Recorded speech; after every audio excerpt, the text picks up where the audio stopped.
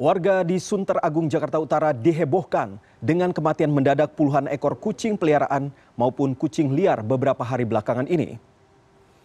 Warga setempat merekam kejadian saat sejumlah kucing mengalami kejang-kejang sebelum akhirnya lemas dan mati. Penemuan 22 kucing mati di wilayah RW 05 ini sudah terjadi sejak 10 hari belakangan.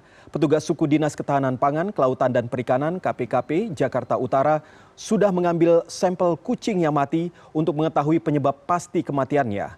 Hasilnya akan diketahui tiga hari mendatang. Untuk mengantisipasi fenomena ini, suku dinas mengimbau masyarakat memberi asupan vitamin dan mengawasi kucing-kucing peliharaan agar tidak keluar rumah. Dapat info dari teman pengurus RW ada screenshotan di IG Sunter nah, kemudian saya langsung minta ke teman pengurus RW untuk ngecek kebenarannya dan betul adanya. Dan dari hasil observasi tadi kita melakukan pengamatan secara langsung. Yang pasti uh, tidak ada busa di mulutnya.